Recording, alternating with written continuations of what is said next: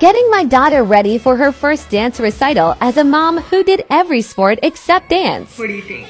I like that. You're so pretty. Yeah. Like a big girl. Hayden, Yes?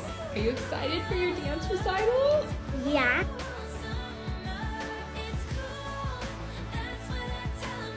Here she comes. Oh, oh you look so beautiful. Thank you. Let's go.